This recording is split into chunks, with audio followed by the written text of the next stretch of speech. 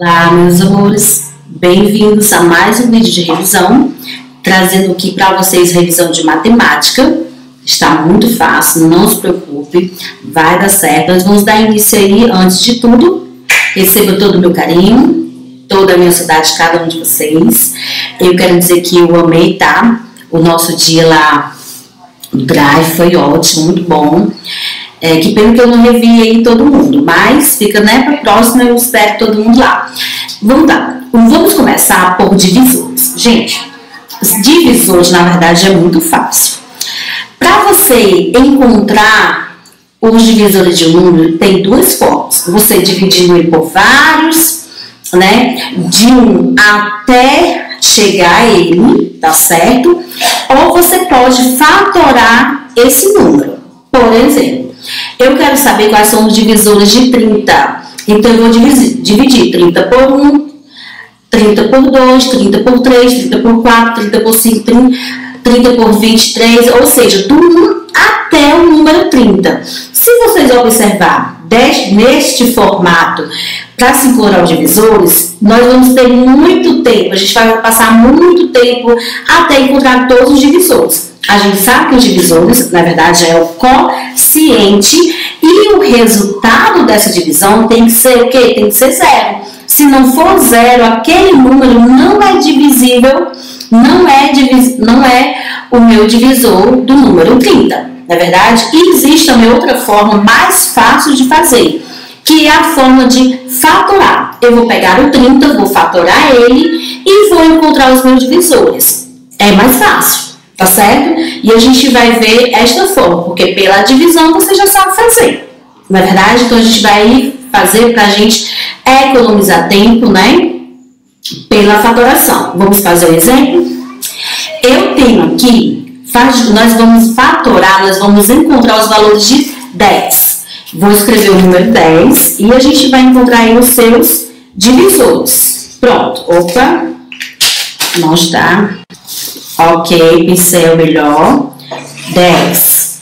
Pronto. Aqui é o meu valor que eu quero encontrar o quê? Os meus divisores. Então, eu vou fatorar esse número 10. Começando por 2. Sempre a gente vai começar por 2. 10 é dividido, dividido por 2? É. 10 dividido por 2 dá 5. Observe como é que fica. Ok? Mediante a isso, eu vou procurar. 5 é dividido divisível por 2? Não. Se isso, quando eu estou fazendo a questão da fatoração, quando eu estou me referindo à questão do divisor, porque nós sabemos que qualquer um pode ser dividir, divisível por outro, pode dividir por outro. Só que a gente tem que ter cuidado que o número, que quando o resultado é zero, ótimo, e quando ele não for zero, que é uma dízima periódica, então a gente tem que ter esse cuidado. Tá certo? Então, nesse caso aqui, 5 vai ser divisível por quem? Por ele mesmo. Observe. 10 dá por 2, que dá 5. 5 dá por ele mesmo, que dá quanto? Que dá 1. Observe. 10 dividido por 2, 5. 5 dividido por 5, 1. Feito isso, meus amores, o que é que eu vou fazer? Eu vou multiplicar. Observe. Pronto. É regra. Sempre eu vou começar a multiplicar pelo 1. Tá?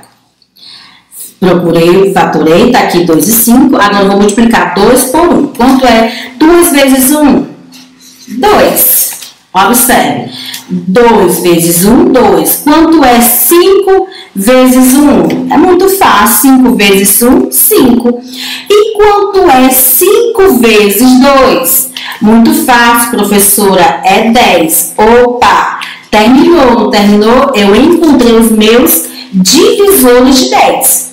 1, 2, 5 e 10. 1 porque se inicia nele e 10 porque todo número que eu estou procurando divisor se inicia com 1 e finaliza em que? Nele mesmo. Muito bem. Vamos fazer outro exemplo para a gente ficar atento a essa questão? Vamos lá. Pronto, meus amores, nós vamos ter aí o número 15. Como é que eu faço? Eu vou fatorar. Dá por 2? Não, tá certo? Dá por qual? Dá por 3. 15 dividido por 3 dá 5. Observe, ó, 15 dividido por 3 dá 5. Se 5 só pode ser dividido por ele mesmo, nesse caso aqui de divisores, de, de fatoração, tá certo? Que dá o quê? Que dá 1. Um. Observe. 15 dividido por 3, 5. 5 dividido por 5, 1. O que é que eu vou fazer agora? Agora, meus amores, eu irei fazer o quê? Eu irei fazer a multiplicação. Observe, toda vida eu vou começar pelo número 1. Tá aqui, ó.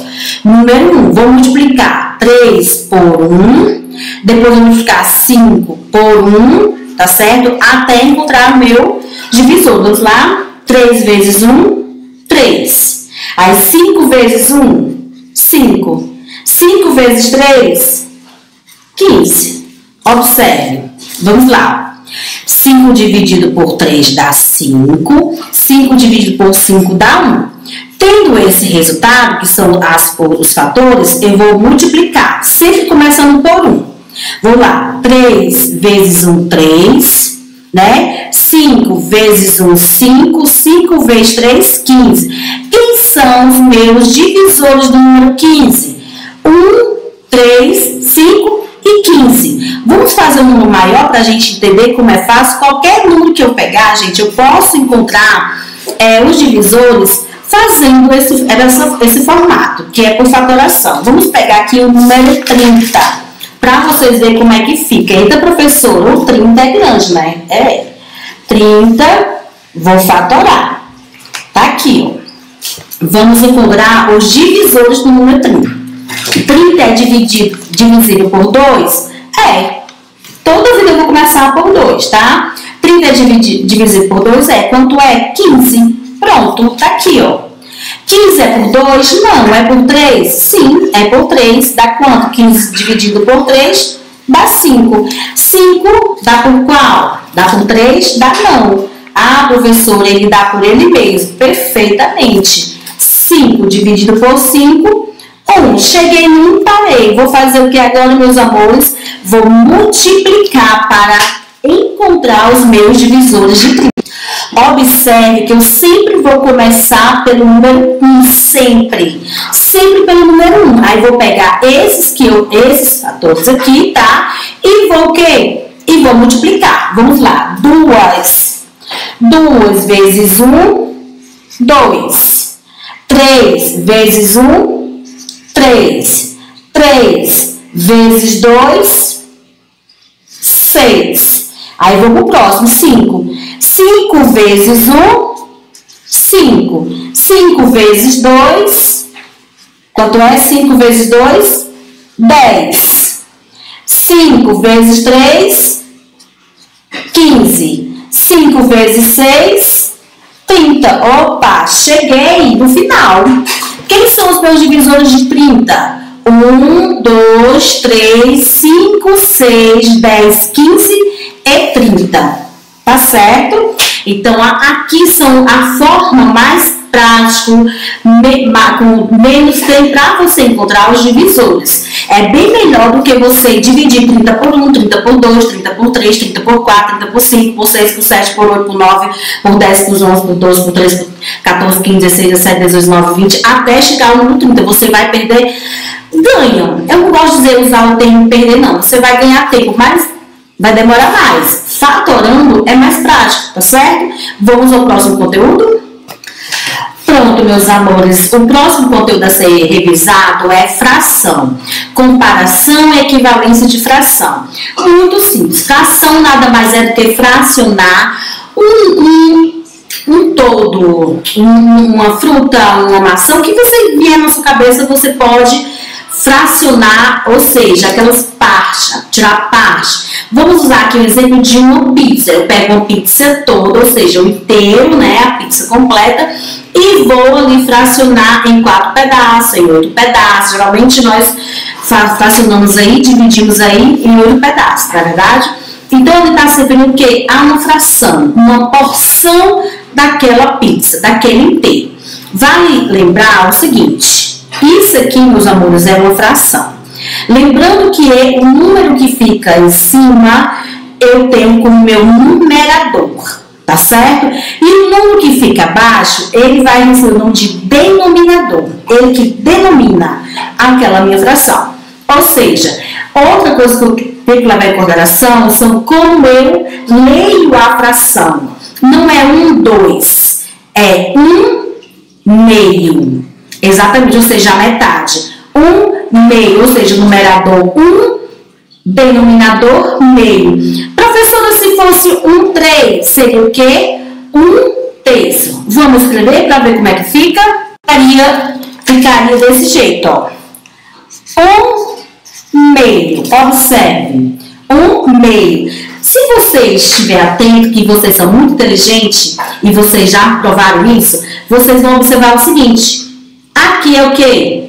O número, o numerador, eu posso falar 1, 2, 3, 4, 5, 6, 7, normal. Mas quando se refere ao denominador, eu já vou mudar a forma de leitura. Exatamente. Muito bem, é, como diz, analisado. O denominador ele vai modificar tanto a grafia quanto a forma que eu vou falar. Meio,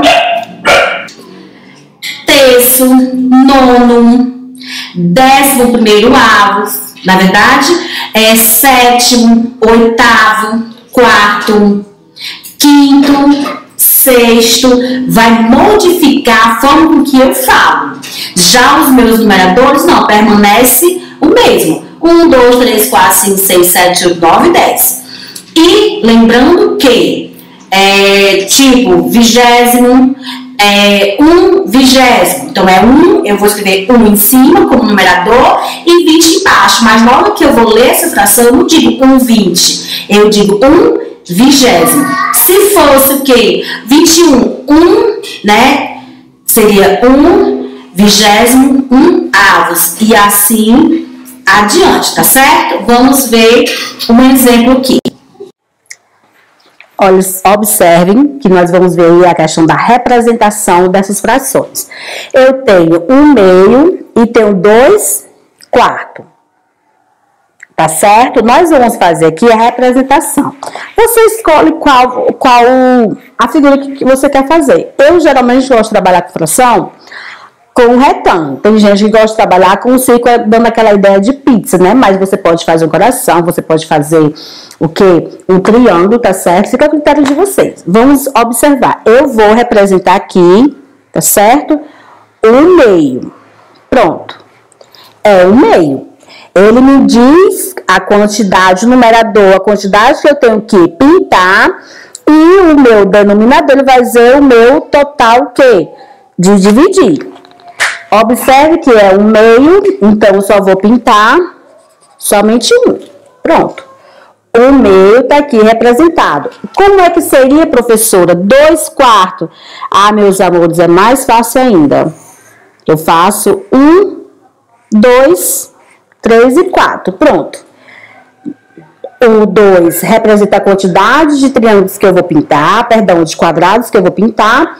E o quarto vai representar a minha fração o meu total que eu vou fracionar, ou seja, a minha divisão. Eu vou ter aí quanto? 2, porque na, o, o, meu numerador, meu, meu numerador indica a quantidade que eu pinto e o meu denominador diz para mim a, a, a, quantidade que eu vou dividir, ok? Então, eu representei. Isso é a forma de representação de uma fração. Nós vamos agora entender comparar as frações. Quem é maior e quem é menor, tá certo? Essa questão de você comparar quem é maior que a menor, vocês vai dar uma lida na página 88 de matemática e diz o seguinte, ó. Quando duas frações têm o mesmo denominador, tá certo? Quem são os denominadores, meus amores? Que está embaixo, exatamente. O maior é a que tem a maior que o maior numerador. Então, observe aqui. Quando os meus denominadores são iguais, aqui, ó, sexto, sexto, quem vai ser o maior é quem tem o maior numerador. Pronto. Entre 5 e 2, quem é o maior? O 5. Então, 5 cinco sexto é maior do que 2 sexto. Tá certo? E ele diz o seguinte: e quem vai ser, no caso aqui, o meu menor? Simples, o meu menor vai ser 2 sexto. É menor do que 5 sexto. E quando está se referindo ao numerador ser, seres iguais? Vamos lá, vamos lá. Quando duas frações têm o mesmo numerador, tá? A maior é a que tem a menor. Observe aí que houve troca. Vamos entender isso. Quando os meus numeradores são iguais, o meu maior, tá bem aqui, ó. O meu maior será aquele que tiver o meu menor denominador. Entre 6 quinto, né? E 6 meio, o meu maior será o 6 meio, porque pela regra, o meu menor denominador será a minha maior fração, tá certo? Então, nesse caso, 6 quinto é o que? É menor do que 6 meio. Por quê? Pela regra matemática. Quando os meus numeradores forem iguais, o meu maior é o menor e o meu menor é o maior. É o inverso, tá, meus amores? Vamos agora entender essa questão de equivalência de frações, tá bom? Então, vamos lá, meus amores, vamos entender essa questão da equivalência, tá bom? Para você saber que um número, que uma fração é equivalente à outra, é simples, você vai só multiplicar o numerador pelo denominador com um, um, um número qualquer, um número qualquer, pode ser por 2, por 3, por 4, por 5, por 6, tá certo? Vamos fazer aqui um exemplo. Nós temos aqui, tá? Ó, nós temos um quarto, observe, tá aqui, ó, tá bom? Observe, tá? Nós temos aqui, ó, um, né? E nós temos o quarto. Quarto é o todo e um é a quantidadezinha, tá? Nós temos aqui dois oitavo. Observe, dois quadradinho pintado e o total oito, ó. Um, dois, três, quatro, cinco, seis, sete, oito. Como é que eu sei que dois oito é equivalente a um quarto? Simples, eu vou pegar esse numerador 1 um, e o denominador quarto e vou, tá, multiplicar ele por 2. Observe como é que eu faço. Eu vou multiplicar. Eu vou colocar 2 e 2. Na multiplicação, como é que eu vou fazer? 1 vezes 2, 2. 1 vezes 2, 2. 4 vezes 2, 8.